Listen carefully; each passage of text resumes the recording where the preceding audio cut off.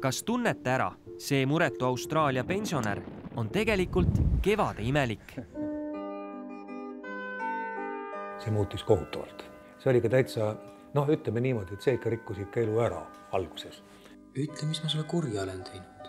kuidas sündisid Eesti esimesed lapsstaarid ja kuhu on saatus pillutanud nad viiskümmend aastat pärast suurfilmi esilinastust, kaardistame kolmapäeval kell kakskümmend null viis Pealtnägijas